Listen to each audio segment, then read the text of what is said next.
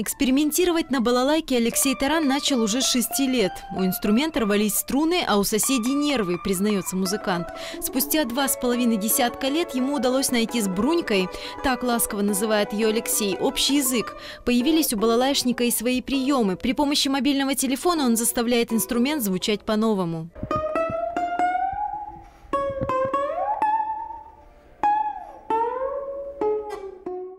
По словам Алексея, балалайка отнюдь не женский инструмент. Дело в том, что игра на ней требует больших физических затрат, что под силу только мужской руке. Играть довольно-таки трудно. Считайте, если э, постоянно... Ну, во-первых, у нас гриф шире, постоянно приходится давить на струны. А правой рукой тоже довольно-таки большая амплитуда. Не всякая девушка это сможет сделать. У простого трехструнного инструмента непростая история, рассказывает Алексей. В 17 веке это был неотъемлемый атрибут ярмарочных гуляний. Каждый мастер делал инструмент на свой лад, поэтому они сильно различались и по форме, и по строю. Круглые, треугольные, трапециевидные, с количеством струн от двух до пяти.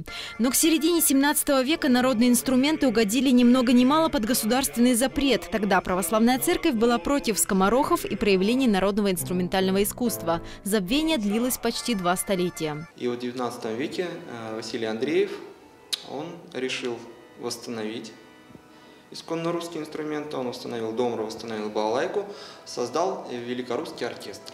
Эти инструменты стали ближе к академическим.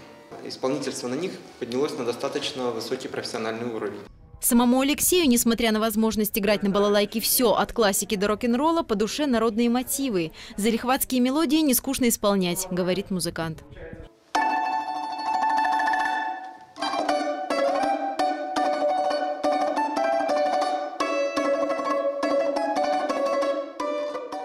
Екатерина Леонова, Василий Дулепинских, телевизионная служба новостей.